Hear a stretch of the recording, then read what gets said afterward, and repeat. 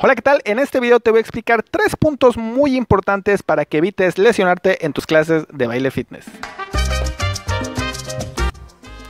La seguridad es muy importante para mí y también para mis alumnas y es por eso que este es el primer tema de esta serie de videos informativos que vas a encontrar aquí en este canal Yo Soy Feliz Bailando. Así que ahí te van los tres puntos para que evites lesionarte en tus clases de baile fitness. Número uno, asegúrate que tu instructora o tu instructor estén debidamente calificados para que impartir la clase que tú vas a recibir. ¿Qué calificaciones debe de tener? Su capacitación de la clase que estás recibiendo.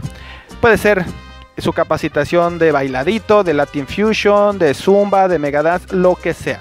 Número uno. ¿Ok? Además de eso, también debe de contar con una certificación como instructor personal o grupal por alguna asociación fitness, ya sea mexicana o del extranjero. Y además constar con un curso de primeros auxilios.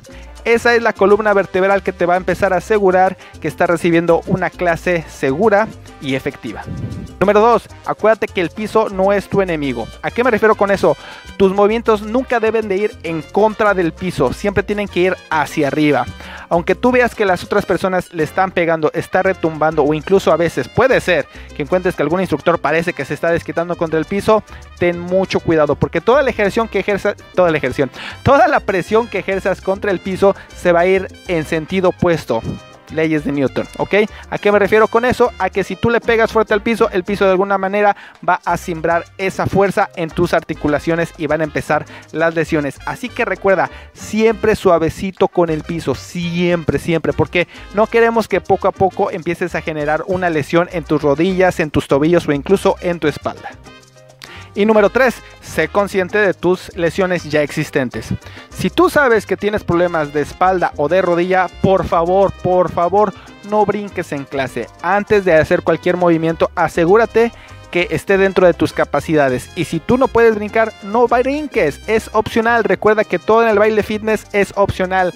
Todo es modificable y todo se puede adaptar a tu condición física o a tus lesiones. En vez de brincar, lo que puedes hacer para modificarlo es alzar los brazos o alzar los tobillos.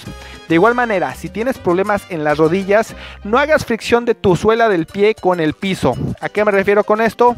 Sobre todo el movimiento del twist ese movimiento, estás haciendo fricción constante contra el piso y eso se transmite hacia tus rodillas. Entonces, ten mucho cuidado con ese movimiento. En vez de eso, sustituye el movimiento y nada más hazlo con los brazos o eleva los pies al hacer ese movimiento, pero no, por favor, por favor, no hagas twist o hagas fricciones de tu pie con el piso. Otro movimiento que debes tener cuidado si tienes problemas de rodillas es igual las vueltas.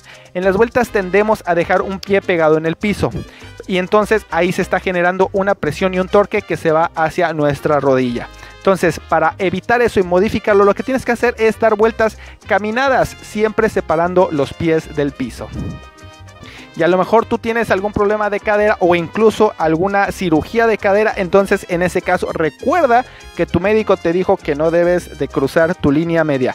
Tu pierna izquierda no debe de cruzar tu línea media del cuerpo porque eso va a poder generar una lesión mayor en tus caderas. Para evitar eso lo que puedes hacer es caminar totalmente de lado o lo que también puedes hacer es simplemente girar y caminar ya sea hacia adelante o hacia atrás y de esa manera vas a hacer el movimiento de una manera segura para una condición física ya existente. Pues espero que este video te haya servido y escríbeme en los comentarios si tú crees que existe algún otro punto que debas de cuidar para evitar una lesión en las clases de baile fitness. No olvides darle like, compártelo y sobre todo suscríbete a este canal y darle a la campanita para que te enteres cuando tengo un video nuevo.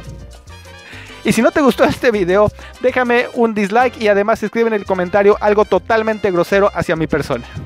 Yo soy Efraín Muñoz, esto fue Yo Soy Feliz Bailando, disfruta la vida y nos vemos en el próximo video.